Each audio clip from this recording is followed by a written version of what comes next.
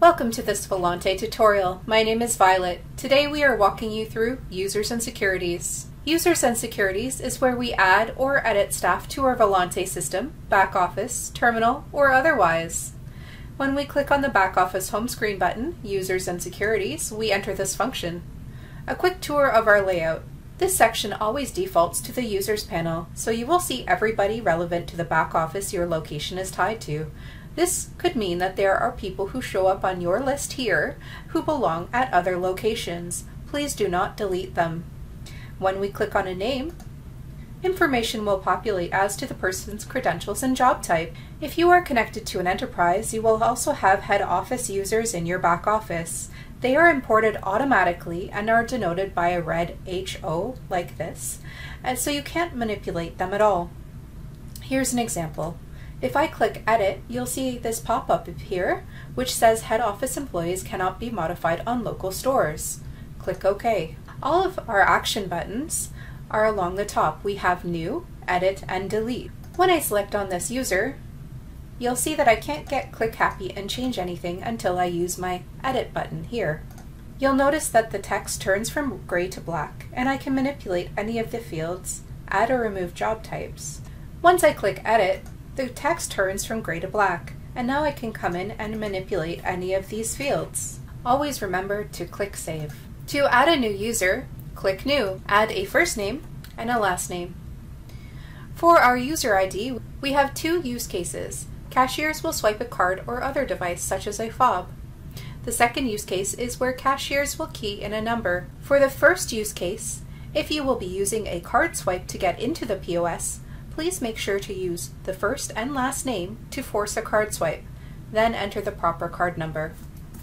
The second use case, if you will be allowing your cashiers to enter a number manually to enter the POS, then enter the user ID as a number. Please note that no two users can share the same number. Please make sure to provide a unique set of digits for each of your users. To enter the card swipe, Either swipe the card and it will populate this field, or type in the eight unique digits printed on the card itself. Please note, this too must be a unique value.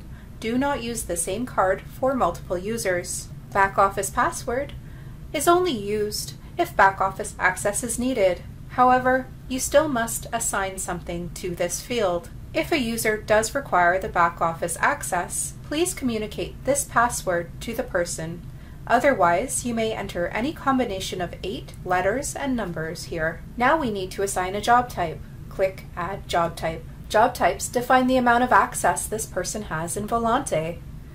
Now let's explore the different kinds of job types. Volante typically uses three standard job types. The first is a back office administrative cashier. These are people who need access to this back office environment typically directors, senior managers, or anyone who needs back office access.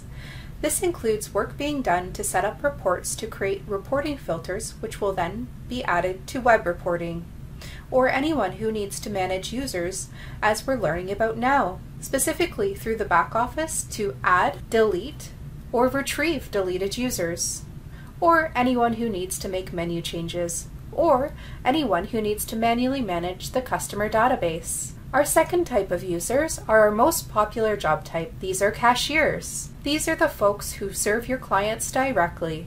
They run transactions on the POS terminals. Ultimately, they have the least amount of access and permissions.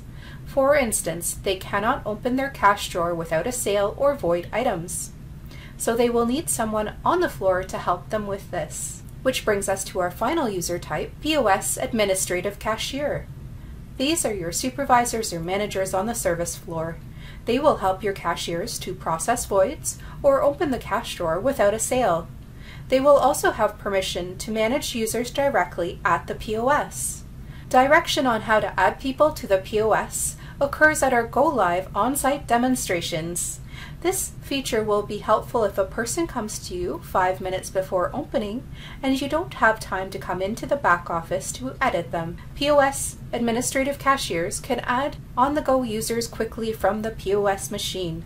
It is important to note, however, if a user is deleted from the POS, they may only be brought back from this back office here by a back office administrative cashier. Let's select cashier today. Let's click save. You'll see Saeed from Volante as a new user appear at the bottom of our System Users tab.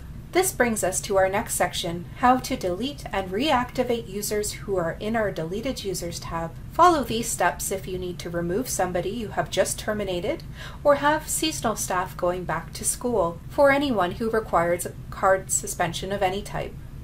Use this for anyone who requires a card suspension of any type. This function does not permanently delete users. It simply moves the user to the Deleted Users tab here. This means they're never permanently gone. This is necessary for records and reporting, or good to quickly reactivate any seasonal or student employees who come and go. To delete a user means that this person can no longer log into the POS using their number or card swipe, yet their historical data is in the system for reporting and auditing purposes. To begin, select a name on the System Users panel. Now click Delete. This will prompt you for the user ID. You can scooch down this window to then see the user ID beneath. I will now type in the username. Click OK. This person has now vanished from the Systems User tab. They will now appear in the Deleted Users tab. When I scroll down, I now see that Saeed from Volante is in our Deleted Users tab. To reactivate this user, select the user from this left-hand side pane and click the Undelete button. A pop-up will appear asking you to confirm if you wish to undelete this user. Click Yes. This person will now vanish from the Deleted Users tab and reappear under our User Setup System Users tab at the bottom. And now we see Saeed from Volante here. Please remember, a data sync must occur each time you add and delete or change users before they will be able to properly access the system or be restricted from it. If you have questions, please reach out to support at volantesystems.com. Thank you and have a great day.